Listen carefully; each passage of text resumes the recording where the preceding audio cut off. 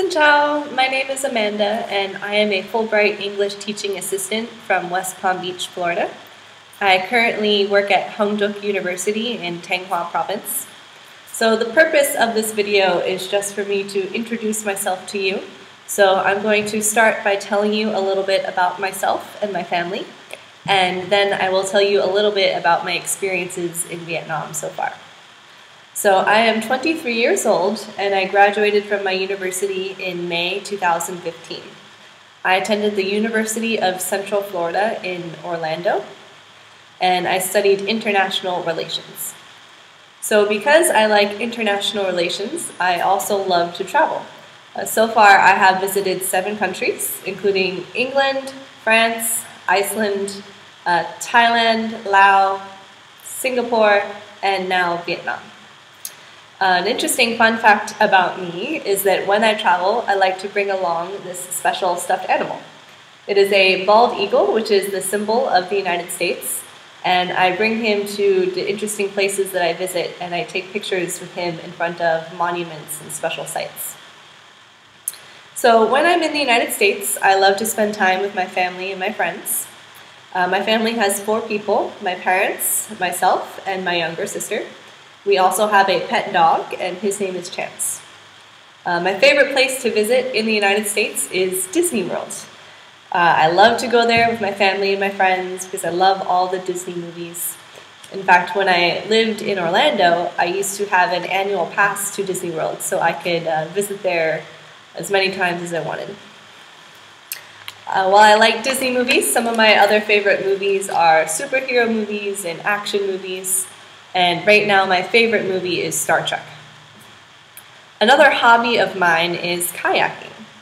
Uh, if I had to describe my perfect day to you, it would be kayaking in the morning in the beautiful waters of my hometown, and then having a nice lunch on the water, followed by going home to just relax on the couch and watch a movie and eat pizza and popcorn.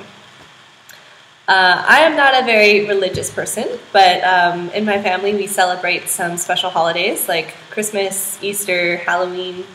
Uh, my favorite holiday, though, is the 4th of July. I like it because this holiday takes place in the summer, so we get to have a uh, special barbecue and a pool party, and those are really fun activities that I enjoy. So I chose to leave my home and my family for a year to come to Vietnam so that I could help Vietnamese students to learn and practice their English.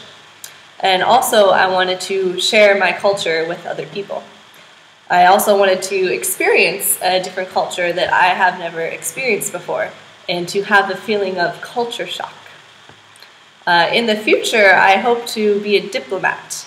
Uh, so, this experience also helps me to gain skills that will help me to one day hopefully get my dream job.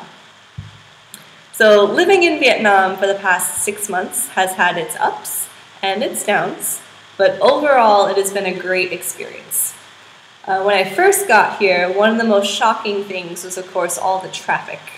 Uh, it was also very surprising to see a lot of people with like very long fingernails and things like that.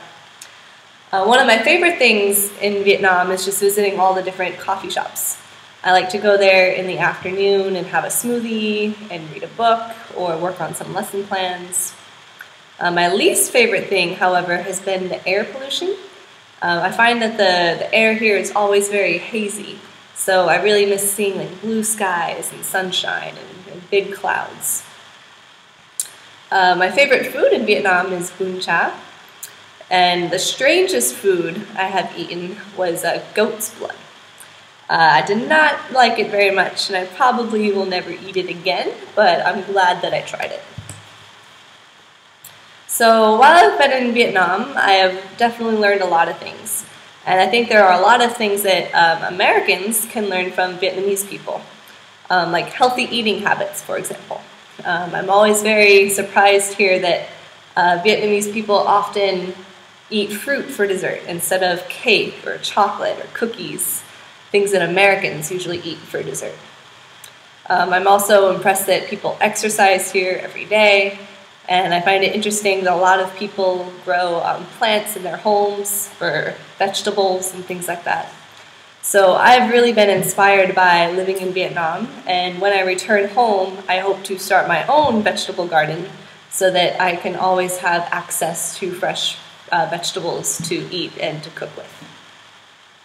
So thank you for listening to my video. I hope you uh, learned something interesting about me. And if you have any questions, please feel free to tell your teacher and we can continue our conversation.